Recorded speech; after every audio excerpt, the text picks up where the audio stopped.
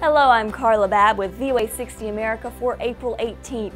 The U.S. Navy has joined rescue operations searching for about 270 passengers missing in the South Korea ferry disaster. Hopes for finding survivors, most of them just teenagers, faded as divers tried entering a cargo hold but were unable to go further. Strong currents and murky water are complicating the search. Malaysian Muslim activists are marching on the U.S. Embassy in Kuala Lumpur to protest President Obama's upcoming visit.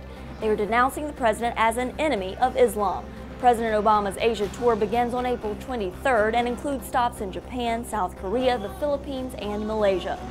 Finally, the Ford Mustang is celebrating its 50th birthday. Thousands of people celebrated the popular sports car at the Las Vegas Motor Speedway.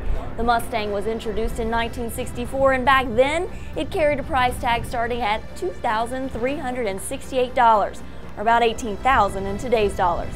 That's all for today. Thanks for watching.